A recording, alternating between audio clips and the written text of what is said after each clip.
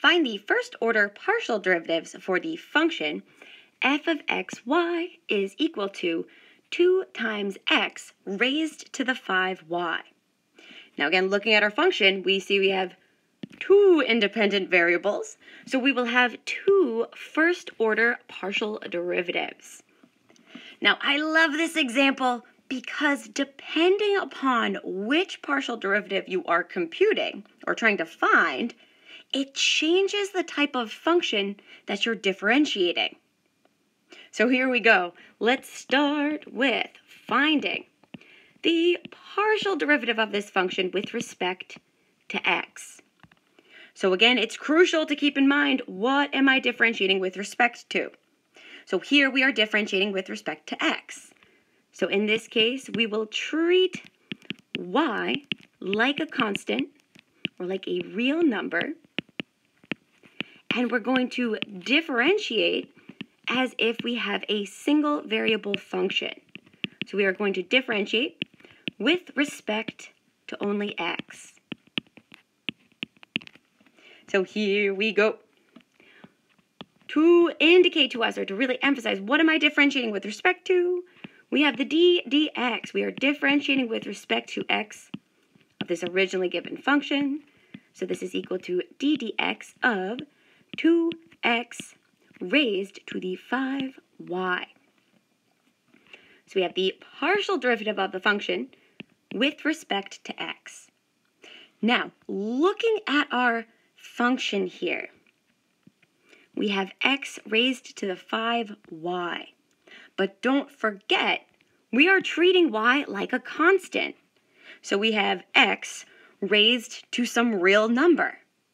So if you have x raised to a real number, what differentiation technique do you use? The power rule. So when we differentiate here, this is going to be 2 multiplied by the exponent, so that's 5y, multiplied by x raised to the 5y minus 1. That's our power rule that we know and love. Of course, we want to simplify this final answer here. This is going to be the partial derivative of the function with respect to x is equal to 10y times x raised to the 5y minus 1. So this is our partial derivative of the function with respect to x.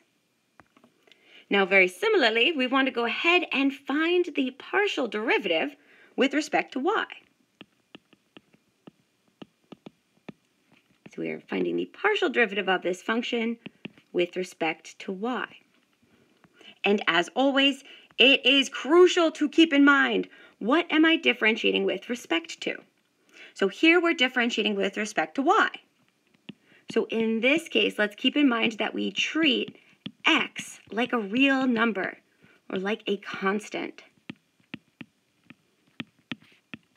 And we then differentiate as if we have a single variable function. So we differentiate with respect to y. So here we go. We have, or we're going to, take the derivative of this function with respect to y. So we have d dy of our function, and whatever we do to one side, we got to do to the other. We are differentiating with respect to y. So here we have 2x raised to the 5y. So we have the partial derivative of our function here with respect to y is equal to what? Now, again, let's keep in mind, because we're differentiating with respect to y, that we are treating x like a constant. So this x is a real number. So you have some real number raised to a variable. So what type of function would that be? An exponential function. So let's keep in mind, mm, need a little bit more room.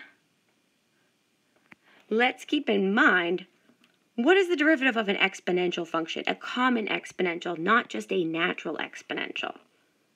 So let's say or recall If we are given some function, say y is equal to the exponential base a raised to the u, and this is where u is some differentiable function of x,